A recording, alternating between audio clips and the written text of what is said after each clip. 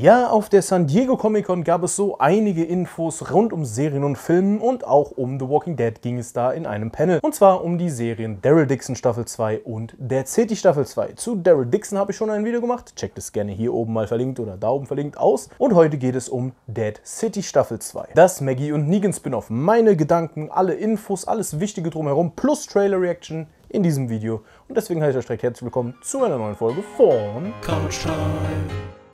Ja, Dead City Staffel 1 hat mir tatsächlich semi gefallen, aber der Trailer zu Staffel 2 verrät einiges Interessantes. Wir springen auch gleich direkt in den Trailer rein. Aber vorab bin ich gespannt, gespannter als bei Daryl Dixon, weil hier bis jetzt mal noch keine dritte Staffel angekündigt ist oder quasi bestätigt ist, was ich mittlerweile tatsächlich leider ein bisschen besser finde, als wenn man schon fünf Staffeln vorausplant, gerade weil es nur, in Anführungsstrichen nur, kleinere Spin-offs zur Hauptserie sind. Das Video, ähnlich wie das Daryl Dixon Video, werden wir ein bisschen anders aufbauen. Ich werde jetzt gleich zu meinem PC-Setup switchen und dann machen wir da die Trailer-Reaction, dass ich ein bisschen anhalten kann, ein bisschen drauf eingehen kann, was im Trailer gezeigt wird, beziehungsweise im Teaser. Und deswegen glaube ich jetzt nicht lange rum, wir jumpen direkt in die Reaction. Ja, nun befinden wir uns natürlich wieder hier an meinem PC-Setup, wie ich es ja gerade schon erwähnt habe. Und heute schauen wir uns dann mal zusammen den Dead City Season 2 Trailer beziehungsweise Teaser an, den wir auf der San Diego Comic Con gesehen haben. Ihr seht schon hier 2025, wann genau es released wird. Äh, eine Sekunde. Ja, es gibt tatsächlich noch kein genaues Datum. Es ist auf jeden Fall 2025 geplant. Wann genau, äh, kriegen wir auf jeden Fall noch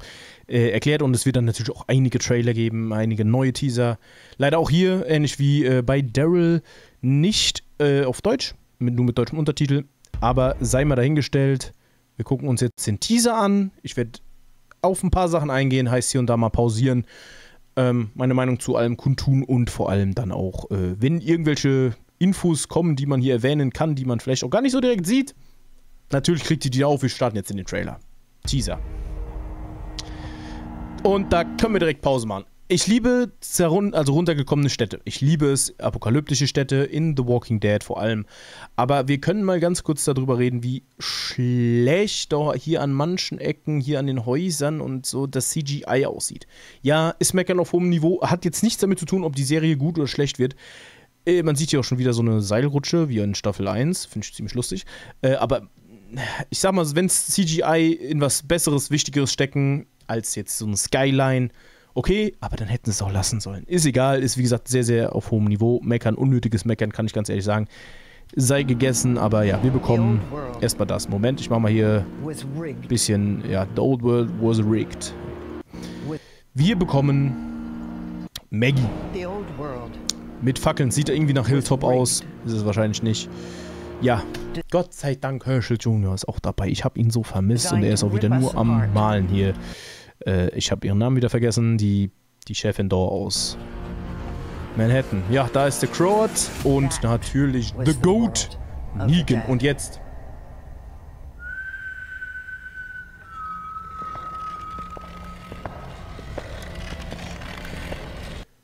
Einfach nur geil. Negan Prime ist back. Teilweise gehe ich gleich auch noch ein, was da wahrscheinlich möglicherweise passieren könnte. Man sieht zwei, drei Szenen, die nicht so Negan-typisch sind. Aber er hat mehr oder weniger Lucille wieder. Er hat äh, sein, sein. Er ist The Goat is back.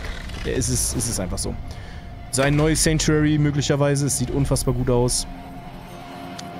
Das wird äh, sehr, sehr geil. Nachtaufnahmen, wieder sehr, sehr schön. Ich liebe es.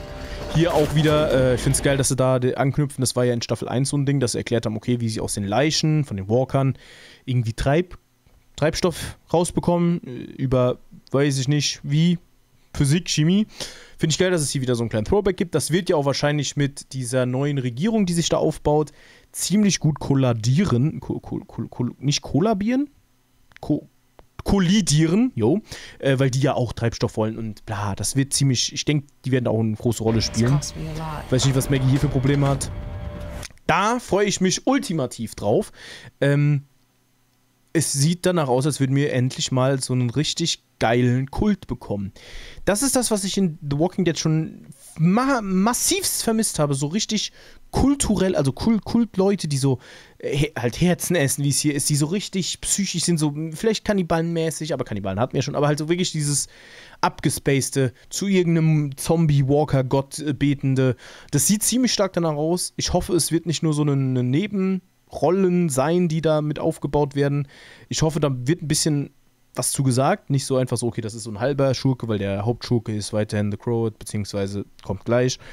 Ähm, ich hoffe, da machen sie was draus, weil der Hauptgegner ist er hier. Ja, und das ist ja der gute, neue, gute, böse Be äh, Gegenspieler. Meine Fresse. Äh, die einigen oder einige von euch werden ihn wahrscheinlich aus Sons of Anarchy kennen. Ich leider keine Ahnung, wie er heißt, sorry. Äh, er soll anscheinend mit einer der neuen äh, Bösewichte sein, weil The Crow ja mehr oder weniger mit Negan jetzt zu einem guten kollidiert und Maggie ist ja nur noch mal eine Stufe guter. Es ist, wie gesagt, gut und böse Leute vermischt es nicht, es ist komplett kompliziert. Aber er wird der neue äh, Gegenspieler auf jeden Fall sein. Und hier bekommen wir eine Szene, die ich unfassbar gut finde. Wir bekommen erstmal hier natürlich einen Ringkampf zwischen Walkern, wahrscheinlich Leute, die darauf wetten und und und. Aber was ich viel, viel krasser finde, ist hier hinten dieser Tisch. In der Live-Reaction, die ich auf das äh, hatte mit äh, einem YouTube-Kollegen, einem guten Andy, äh, hat mir auf TikTok gestreamt. Und hier musste ich zu sagen, das ist eins zu eins die Szenerie wie beim letzten Abendmahl. Ich weiß nicht, ob es mit Absicht so gemacht ist. Ich weiß nicht, ob darauf eingegangen wird, aber wir sehen hier auf jeden Fall Negan in der Mitte. Ich könnte mir vorstellen, dass The Crowd. Und allgemein, ich denke mal, es ist halt so, wenn wir davon ausgehen, dass Negan ein neues Sanctuary aufmacht, sind das so seine Generäle, äh, Leute halt, die, denen er vertraut. Es sieht aber an, absolut danach aus. Das Fenster im Hintergrund, diese Kerzen überall. Überhaupt diese Szenerie gefällt mir mega. Finde ich super geil. Ich hoffe, das wird geil. Er ist auch wieder da. Und jetzt, Leute, passt ganz gut auf, was, was wie Negan sich verhält. In manchen Momenten. Äh, und zwar das hier. Ähm, erstmal möchte ich sagen, äh, hier Negan mit Lucille natürlich wieder äh, Zombies am Klatschen. Wo jetzt schon der eine Punkt kommt, und zwar, ich gehe davon aus, ja, wir bekommen Negan Prime wieder, aber in einer abgeschwächten, beziehungsweise einer anderen Variante. Er wird mit sich zu kämpfen haben zwischen Gut und Böse aus seiner Sicht. Äh, das hier ist zwar für ihn, oder das soll halt Lucille darstellen, Lucille ersetzen, aber ich glaube, für ihn gibt es nur eine Lucille und diese Lucille ist tot. Es ist entweder seine Frau oder halt sein Original-Baseballschläger. Denn verbessert mich, ich bin der Meinung, es gab nicht so extrem viele Szenen, wo, wo Negan mit Lucille Zombies getötet hat. Es war mehr, dass er Lucille dafür benutzt hat, Menschen zu töten. Ist, natürlich hat er viele Zombies damit getötet, aber die Art, wie er mit Lucille umgeht, vor allem jetzt die Art, wie er sie hier. Äh, nee, noch nicht. Die äh, wegwirft. Ähm. Ihr könnt mir sagen, was ihr wollt. Und das ist jetzt einfach in meinen Augen Fakt. Wir bekommen, wie gesagt, Negan zurück als Negan, aber er wird nicht so sein, wie wir ihn als Sanctuary Negan kennen. Denn er würde im Leben niemals Lucille wegschmeißen. Er wird hier dementsprechend quasi ein doppeltes Spiel spielen. Vielleicht mit Maggie zusammen. Viele, also als, als Team, vielleicht einfach nur hat er sich hat erst gedacht, okay, ich mache hier wieder einen auf Big Boss, hat aber gemerkt, das ist nicht mehr meins und dementsprechend wirft er hier auch Lucille weg. Es ist nämlich nicht Lucille. Da könnt ihr mir sagen, was ihr wollt. Für ihn ist es nicht Lucille, weil es nicht sein Baseballschläger ist. Deswegen gehe ich davon aus, dass diese Szene hier kommt. Und auch hier, Maggie trifft auf Negan. Und auch dieses Bild, hier nochmal mit dem letzten Namen mal im Hintergrund. Ähm, es gibt einige, die jetzt sagen, gut, das ist dieses erste Aufeinandertreffen nach vielen Auseinandersetzungen zwischen denen. Ich könnte mir aber eher vorstellen, dass das hier so ein Ding wird wie mit Carol und Negan. Dieses, okay, ich, Carol, beauftrage dich, Negan Alpha zu töten. Und in dem Fall ist es hier ich, Maggie, brauche Negans Hilfe mal wieder oder er braucht ihre Hilfe, irgendwie so. Das hier ist aber kein Kontakt von Feinden, finde ich. Das ist eher so ein Treffen zwischen Partnern, die sie sein müssen, nicht weil sie es sein wollen. Ähm, dementsprechend auch eher nicht mit Baseballschläger. Also er zwar hier unten sieht man zwar Lucille, aber es ist, wie gesagt, es ist nicht der Negan. Es ist ein sehr, sehr Prime-lastiger Negan, aber es ist ein anderer, würde ich behaupten. Ja, Dead City Season 2 2025. Äh, ja, und das war der Teaser. Es ist nicht so krass viel, aber sehr, sehr viel, was da doch drin rauskommt. Ich muss sagen, im Vergleich zu Daryl Dixon hat mir der Trailer nicht so, so krass gefallen von wegen Inhalt. Mich hypt es aber trotzdem mehr auf Dead City als auf Daryl Dixon, weil hier einfach äh, viel Neues dazu kommt und wir hier halt nochmal ein Stückchen weiter in der Zukunft sind als bei Daryl Dixon. Also Daryl Dixon ist so, wenn, wenn hier so Ende Staffel 11 ist, ist Daryl Dixon hier, Dead City ist aber hier. Dementsprechend finde ich das hier ein bisschen interessanter und ich, gerade weil wir Negan zurückbekommen, glaube ich, also zurückbekommen als der Negan mit Baseballschläger, glaube ich, dass das ziemlich, ziemlich krass werden könnte. Ich frage mich natürlich direkt wieder, was passiert, dass sie auf einmal zusammenarbeiten, gegeneinander arbeiten? Wie weit ist, was gibt es einen Timeskip? Negan ist ja offensichtlich wieder so ein Sanctuary-Anführer geworden. Wie kam es dazu? So, so von 0 auf 100, ich bin gespannt, sie müssen da sehr, sehr viel äh, erklären. Ich hoffe, sie machen nicht äh, viel kaputt und meine einzige große Hoffnung ist, dass das eventuell die letzte Staffel der City sein wird. Toi, toi, toi weil nicht wie bei Daryl Dixon Staffel 3 schon geplant und Staffel 4 auch schon geplant und das in anderen Ländern. Ich möchte endlich mal für die Spin-offs ein kleines Ende bekommen, dass wir irgendwann mal The Walking Dead, die Hauptserie mit den Hauptcharakteren vielleicht abschließen können. Wollen gewiss einige nicht.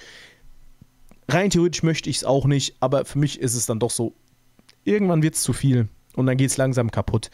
Die ganzen Spin-offs sind ja schon nicht so der Knüller und die letzten paar Staffeln von The Walking Dead waren ja auch nicht perfekt. Dementsprechend, ich hoffe, sie halten hier den Ball flach. Sieht aber alles sehr, sehr vielversprechend aus. Gut, das war jetzt meine Reaction zum Trailer, beziehungsweise zum Teaser. Ähm, ja, ich schalte jetzt nochmal äh, zurück auf die Couch und da äh, rede ich ja nochmal ein bisschen mit euch. Deswegen, äh, ja, äh, switchen wir wieder die Cams. So, zurück aus der Reaction. Habt ihr hier nun meine Meinung zu dem Ganzen gesehen? Wie ich gestimmt bin, ob positiv, ob negativ, was mir gefallen hat, worauf ich gespannt bin und was es allgemein alles so für Infos gibt. Jetzt seid ihr gerne gefragt, schreibt mir doch bitte gerne mal in die Kommentare, wie euch der Trailer bzw. der Teaser gefallen hat. Seid ihr gespannt auf Staffel 2? Wie hat euch Staffel 1 gefallen? Gerne auch die Meinung im Vergleich zu anderen Spin-offs, die wir so bekommen haben. Mich würde es auf jeden Fall interessieren. An der Stelle frage ich euch direkt mal, wie hat euch das Ganze gefallen? Sowohl die Daryl Dixon als auch jetzt hier diese Reaction, dass wir das quasi am PC machen, dass ich da quasi ein bisschen besser drauf eingehen kann, als halt so in der Hand hier mit dem Handy. Lasst mich gerne in den Kommentaren wissen, ob ich es bei Trailern immer so machen soll, dass ich es am PC aufnehme, weil es einfach vielleicht, wie gesagt, besser wirkt.